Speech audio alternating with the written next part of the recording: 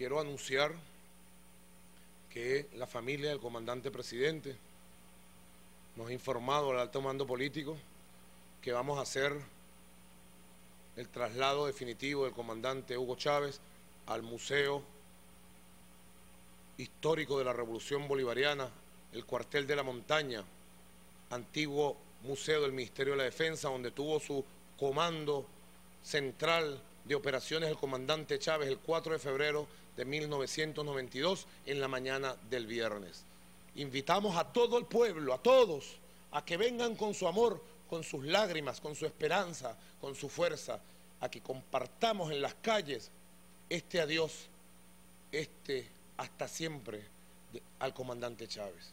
El próximo viernes, mañana empiezas clases a nuestras niñas, niños, porque nosotros somos padres y abuelos.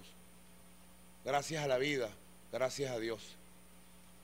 Tenemos hijos, nietas y nietos que cuidar, a quien dejarle una herencia de paz y de amor. Hay quienes no lo tienen, lamentablemente, y viven de la irresponsabilidad absoluta bajo los efectos permanentes del odio y de la ambición personal de poder político y económico. Están secuestrados por el odio.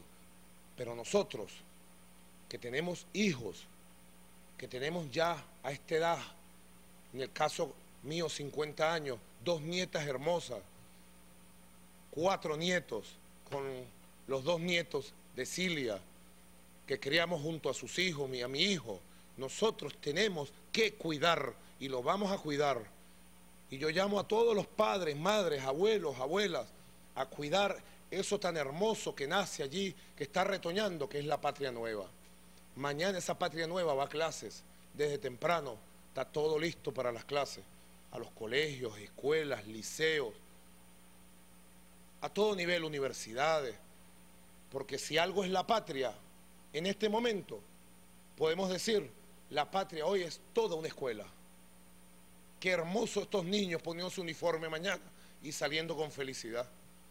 Esa es la felicidad de nuestro comandante Chávez. Que nuestros niños, niñas y jóvenes tengan su educación allí garantizada. Nuestra felicidad es la paz. Nuestra felicidad es la vigencia plena de esta constitución. Nuestra felicidad es el amor absoluto de este pueblo que nunca le falló al comandante Hugo Chávez. Ni jamás le va a fallar. Los liderazgos de hombres como Hugo Chávez llegan cada 200 años para marcar la historia. Gracias a esta historia, el comandante Chávez cuando le tocó rendir su vida, la rindió aquí en su tierra, con su pueblo y con sus compañeros de lucha, leales a él. No lo traicionamos ni lo traicionaremos jamás.